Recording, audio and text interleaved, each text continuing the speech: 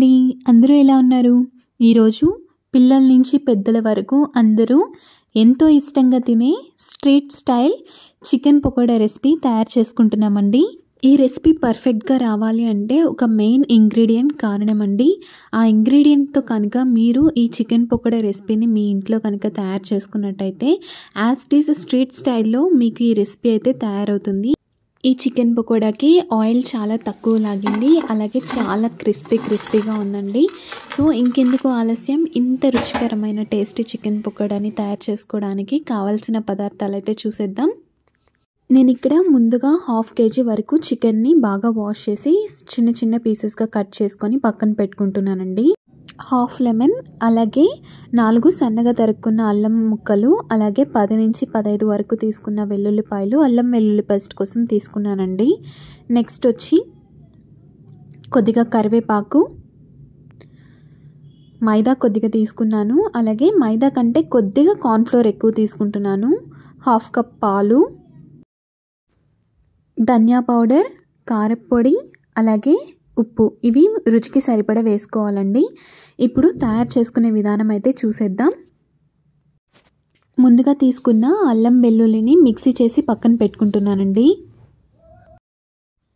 ఇప్పుడు ఒక బౌల్ తీసుకొని ఆ బౌల్లోకి బాగా వాష్ చేసి సన్నగా కట్ చేసుకున్న చికెన్ని యాడ్ చేసుకుంటున్నాను. ఇప్పుడు ఈ చికెన్లోకి వన్ బై వన్ అన్ని ఇంగ్రీడియంట్స్ యాడ్ చేసుకుందామండి. ముందుగా హాఫ్ లెమన్ నుంచి స్క్వీజ్ చేసుకున్న లెమన్ జ్యూస్ని యాడ్ చేసుకుంటున్నాను. ఆ తర్వాత అల్లం వెల్లుల్లి పేస్ట్ ఇందాక మిక్సీ చేసుకున్నాం కదా ఆ అల్లం వెల్లుల్లి పేస్ట్ కూడా యాడ్ చేసుకుంటున్నానండి. ఒక రెమ్మ కరివేపాకు హాఫ్ కప్ కంటే కూడా కొద్దిగా తక్కువ కార్న్ఫ్లోర్ యాడ్ చేసుకుంటున్నాను. కార్న్ఫ్లోర్ కంటే కూడా కొద్దిగా తక్కువ మైదా యాడ్ చేసుకుంటున్నానండి. ఇలా కార్న్ఫ్లోర్ ఎక్కువగా యాడ్ చేసుకోవడం వల్ల ఆయిల్ తక్కువగా లాగుతుంది. అలాగే క్రిస్పీగా వస్తుందండి chicken pakoda. Chicken పకోడాలో the main and secret ingredient వచ్చేసి మిల్క్ అండి. ఇలా మిల్క్తో చికెన్ పకోడా చేసుకోవడం వల్ల టేస్ట్ అయితే చాలా బాగుంటుంది. అలాగే చికెన్కి మసాలా బాగా పట్టి విడిపోకుండా ఉంటుందండి డీప్ ఫ్రై చేసేటప్పుడు. ఇప్పుడు ఇందులోకి హాఫ్ టీ స్పూన్ ఉప్పు టూ టీ స్పూన్స్ కారం హాఫ్ టీ స్పూన్ ధనియా పౌడర్. ఇవన్నీ యాడ్ చేసుకున్న తర్వాత వీటిని అన్నింటినీ కూడా బాగా మిక్స్ చేసుకోవాలండి. ఇలా మిక్స్ చేసుకొని పక్కన పెట్టుకుంటున్నాను. ఇప్పుడు డీప్ ఫ్రై కోసం ఒక ప్యాన్ తీసుకొని అందులో ఆయిల్ యాడ్ చేసుకున్నానండి. ఆయిల్ కొద్దిగా హీట్ అయ్యాక ఇందులోకి మనం మిక్స్ చేసి పెట్టుకున్న మసాలా ముక్కల్ని యాడ్ చేసుకుందాము.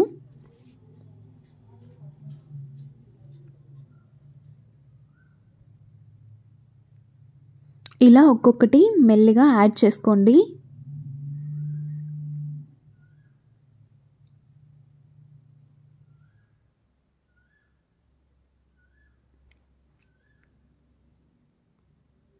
ఇలా చికెన్ పీసెస్ అన్నీ యాడ్ చేసుకున్న తర్వాత మంటను మీడియం టు హై ఫ్లేమ్లో పెట్టుకొని చికెన్ పీసెస్ని డీప్ ఫ్రై చేసుకోవాలండి.